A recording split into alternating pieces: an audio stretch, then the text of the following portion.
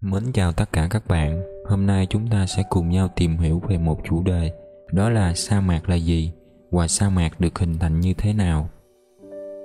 Chắc chắn có nhiều người bị nhầm lẫn giữa hoang mạc và sa mạc. Thậm chí nhiều người còn cho rằng sa mạc và hoang mạc là một. Vậy thực tế hoang mạc là gì, sa mạc là gì? Để giải đáp những thắc mắc trên, các bạn hãy cùng nhau xem hết video bên dưới nhé. Thứ nhất, hoang mạc là gì? Hoang mạc là một vùng đặc trưng bởi khí hậu khô và nóng. Lượng mưa trung bình tại đây rất thấp, chỉ khoảng 200 đến 200 mm trên năm, nhưng lượng bốc hơi nước rất nhiều, từ 900 đến 1500 mm. Chính vì vậy, ở những hoang mạc rất hiếm có sông suối, do đó chỉ có những loài động vật thực vật nào có khả năng chịu hạn cao mới thích nghi và tồn tại được ở nơi đây. Thực vật nơi đây chủ yếu là những loài có khả năng chịu hạn cao và thích nghi được với môi trường khắc nghiệt. Những loài có vòng đời ngắn ngủi trong mùa mưa và hạt có thể tồn tại trong mùa khô kéo dài. Những loài cây mọng nước như xương rồng có thể tích trữ lượng nước lớn, lá biến thành gai để hạn chế tối đa sự mất nước. Những loài cây lớn có bộ rễ ăn sâu xuống tầng đất sâu nhất để hút nước. Hệ động vật nơi đây khá phong phú, từ các loài nhỏ bé như bò cạp, tắc kè đến các loài lớn như linh cẩu, cáo, đinh dương sườn xoắn, lạc đà. Đây đều là những loài có khả năng chịu nóng, chịu khát cao. Để tồn tại được trong những hoàn cảnh khắc nghiệt nơi đây, chúng thường đi săn và kiếm ăn vào buổi tối, còn ban ngày trú ngụ tại các hang động hoặc dưới tán cây để tránh nắng. Dựa vào tính chất, các nhà khoa học phân ra bốn loại hoang mạc khác nhau như hoang mạc đất sét, hoang mạc cát, hoang mạc muối và hoang mạc đồi núi. Một số hoang mạc lớn trên thế giới như là hoang mạc Kalahari là một khu vực lớn khô cằn ở miền Nam châu Phi, có diện tích khoảng 500.000 km vuông, hay hoang mạc Victoria, nằm ở miền Nam của nước Úc, cằn cỗi và rất ít dân cư sinh sống, diện tích 424.400 km vuông hoang mạc Niger chiếm hơn một nửa diện tích của Israel, vào khoảng 12.000 km vuông, và chiếm trên một nửa diện tích đất liền của nước này. Vậy sa mạc là gì? Sa mạc gần giống như hoang mạc, cũng là nơi có khí hậu khắc nghiệt và lượng mưa rất ít. Nhưng khí hậu và thời tiết, điều kiện sống ở sa mạc khắc nghiệt hơn nhiều lần so với hoang mạc. Lượng mưa ít hơn, lượng bốc hơi nước lớn hơn do nhiệt độ cao hơn, độ ẩm không khí gần như bằng không.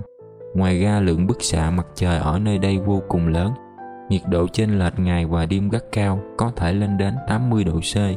Để hình dung cho các bạn dễ hiểu, vào ban ngày nhiệt độ dao động từ 40 đến 60 độ C. Nhưng khi về đêm, nhiệt độ giảm xuống còn từ 0 đến âm 10 độ C.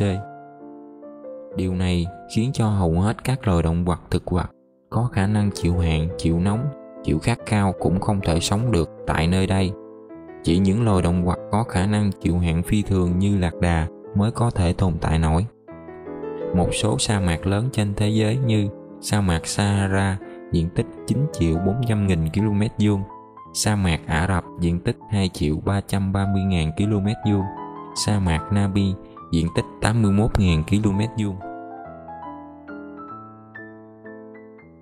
Vậy sa mạc được hình thành như thế nào? Các nhà khảo cổ phát hiện rằng sa mạc trước đây là một vùng đất tràn đầy sức sống, đã phát hiện thấy dấu tích của những dãy núi và sông hồ. Sau đó các nhà địa chất đã đến khảo sát thực địa và chứng thực điều kiện thổ nhưỡng khá lý tưởng của nơi này. Ngoài ra còn tìm thấy một số dụng cụ lao động của con người cổ đại. Vậy thì nguyên nhân nào đã biến một vùng đất màu mỡ thành một nơi chôn vùi sự sống như vậy?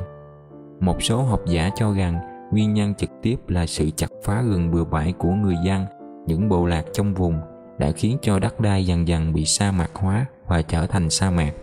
Lại có người nhận định rằng sự thay đổi địa chất theo chu kỳ đã biến đổi khí hậu nơi đây, lượng mưa cứ ngày một ít dần và đất đai bị sa mạc hóa. Tuy nhiên rốt cuộc nguyên nhân chính xác ra sao thì vẫn chưa có ai tìm ra được. Chúng ta có thể tìm thấy một số nguyên nhân như sau. Khí hậu khô nóng là nguyên nhân chủ yếu hình thành nên sa mạc. Đó là lý do vì sao tình hình phân bố của sa mạc trên trái đất luôn ở gần quỹ độ và nhiệt độ rất cao thuộc phía nam và phía bắc bán cầu. Ngoài ra không khí ẩm của biển không được gió đưa sâu vào thềm lục địa, nơi có các dãy núi lớn che chắn. cũng dễ hình thành nên sa mạc. Điển hình các miền ven biển có nhiệt độ cao làm các dòng không khí lạnh không tác động được đến các dòng không khí ẩm để tạo ra mây cũng dễ biến thành sa mạc. Từ những nguyên nhân trên có thể kết luận rằng nguyên nhân hình thành sa mạc như sau. Do tác động của con người tàn phá thiên nhiên, chặt phá rừng bừa bãi, do đó khi có sự biến đổi khí hậu, thay đổi thời tiết đột ngột, lượng mưa ít sẽ làm cho những vùng đất đó khó thích ứng được và dần dần theo thời gian sẽ hoang mạc hóa hoặc biến thành sa mạc. Video của chúng ta đến đây là kết thúc rồi. Nếu các bạn có những ý kiến và đóng góp gì thì hãy để lại phần bình luận bên dưới nhé. Chào tạm biệt và hẹn gặp lại các bạn ở video tiếp theo. Nếu các bạn thấy video này hay, hãy nhấn nút đăng ký, like hoặc chia sẻ. Chào tạm biệt các bạn.